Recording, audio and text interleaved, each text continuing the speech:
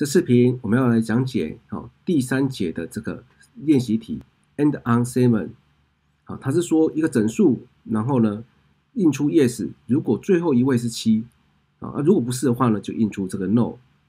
我们来看一下例子，像三六七呢，就是以个位结尾，就是印七；七十九呢，就是哈以九结尾，就是回答 no。OK，好，所以我们来分析一下这个问题，什么叫做以七结尾？其实就是在看它个位数。那如何取得一个数的个位数呢？我们可以对时求余。这题主要的运算呢，就是对时求余数，接着再搭配 if 的判断来完成。好，我们来先来写一下。所以一开始呢，我们先读入一个数。好，那这个数呢，我们可以把它转成这个整数。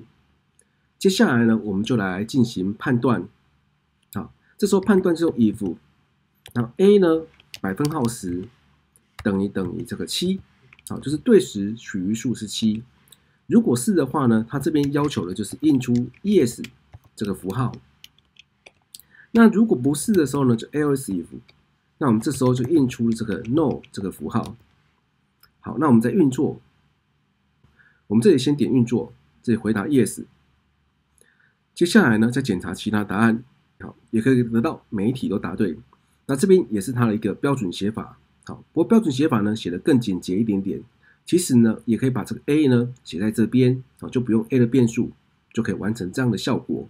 类似的，如果你要取得十位跟个位呢？就可以对一百取余数，也可以得到一样的效果。